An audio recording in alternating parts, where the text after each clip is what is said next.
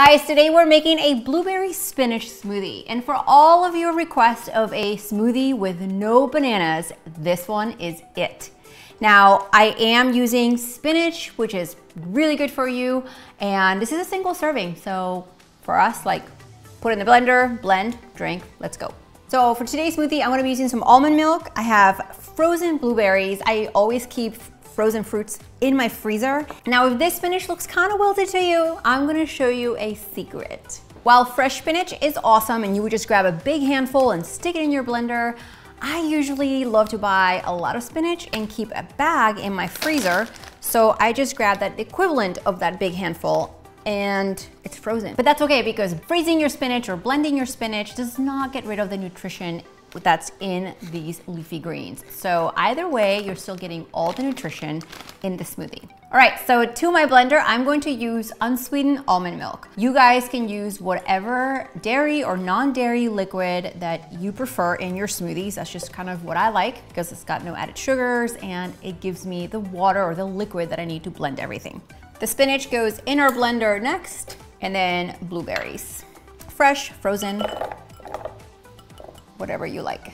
I'm gonna be adding some protein powder to the smoothie because I do want to add protein and extra nutrition. If I'm using it as a meal supplement, then you would wanna use you know, your veggies, your fruit, and protein as long as the rest of the recipe. But if you're just having it as a snack, the protein may or may not be necessary. And then some almond butter, shredded coconut flakes, and a little bit of vanilla. A little bit of vanilla goes a long way in smoothies, and then we're gonna blend.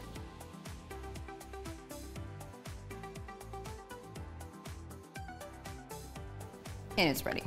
Now, if you like really thick and slushy smoothies, you could add a couple of ice cubes, but actually today I wanna just drink it. So here we go.